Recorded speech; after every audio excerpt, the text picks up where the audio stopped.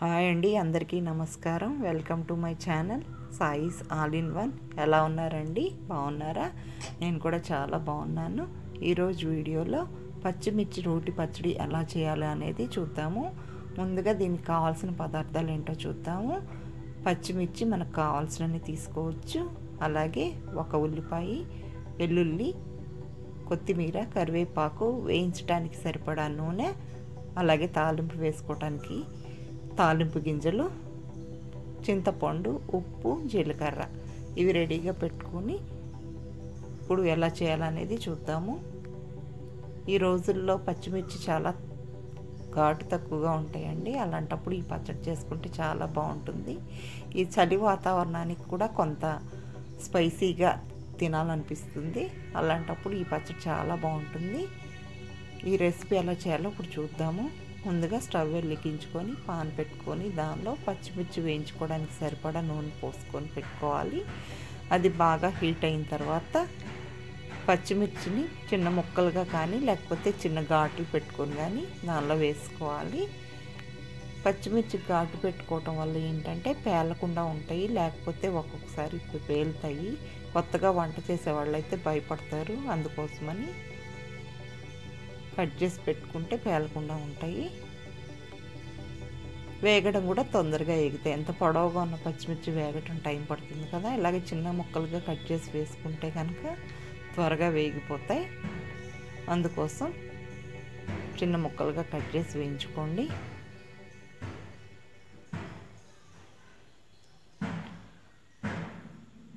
పచ్చిమిర్చి బాగా వేగాలి. బాగా వేగిపోయినాయి చూసారు కదా.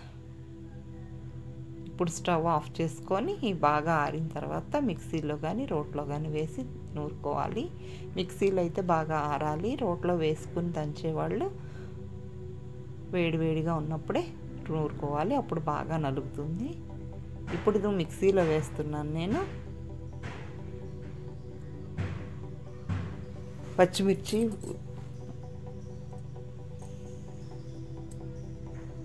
అలాగే చింతపండు జీలకర్ర ఉప్పు వేసేసి మిక్సీలో వేసాను. పచ్చడి బాగా నలిగిన తర్వాత దీనిలో ఒక గిన్నెలోకి తీసుకున్నాను.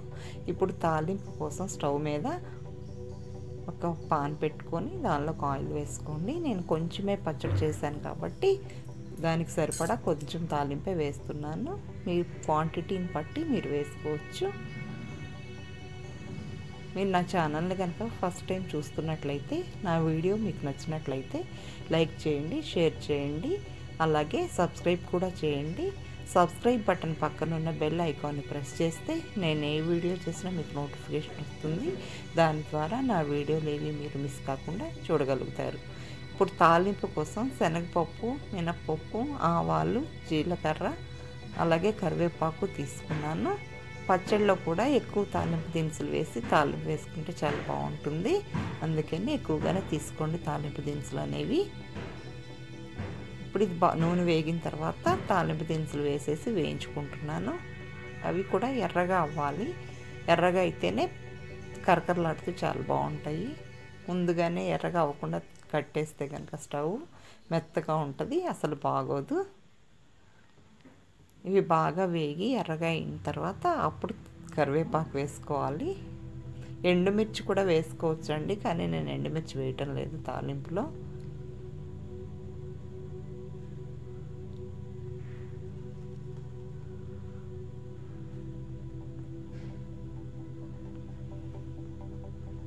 ఇప్పుడు వేగిపోయింది కదా బాగా ఎర్రగా కనిపిస్తున్నాయి కదా వేగి ఇప్పుడు దీనిలోకి కొంచెం కరివేపాకు వేసుకుందాము. అలాగే పసుపు కూడా వేసుకోవచ్చు ఇష్టపడే వాళ్ళు కలర్ కోసం.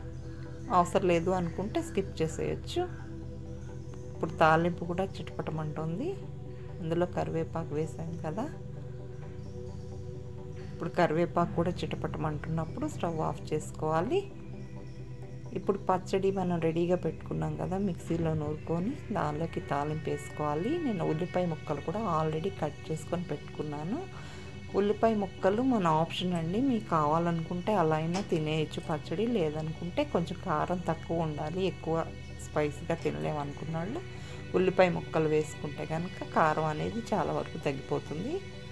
ఎక్కువ ఉల్లిపాయ వేసుకుంటే ఇంకా ఎక్కువ కారం తగ్గుతుంది. మీ అందరికీ కూడా ఈ రెసిపీ నచ్చింది అనుకుంటున్నాను. బాగా స్పైస్గా ఇష్టపడే వాళ్ళు ఈ పచ్చడి చేసుకొని చూడండి చాలా బాగుంటుంది. మీ అందరూ తప్పకుండా ట్రై చేసి చేస్తారనుకుంటున్నాను. నచ్చింది కదా? Thanks for watching.